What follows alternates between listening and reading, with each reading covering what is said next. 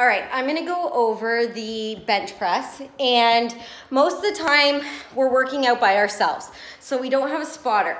So I'm gonna go over dumbbell bench press, okay? But if you'd like to use the barbell, just, it's, it's awesome, first of all, to have a spotter. Second of all, if you don't, put up the catches and just make sure your feet are firmly pressed into the ground.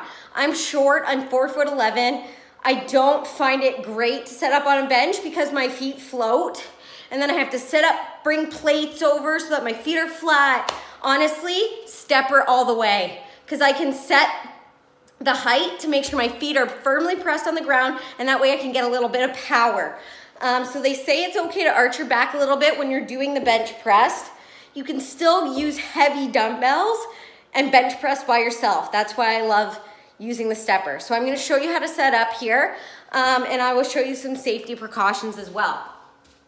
So I have 20s here.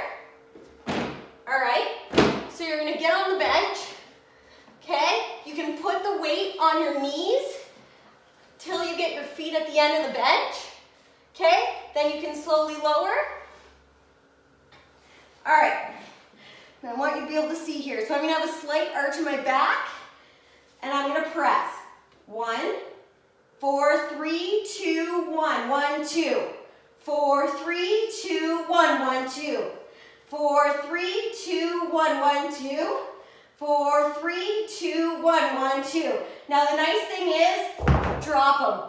If you're starting to lose power and can't quite get it up, drop them and you're safe. So same as the squat, on the downward motion is where you're being challenged. That's the eccentric part of the exercise.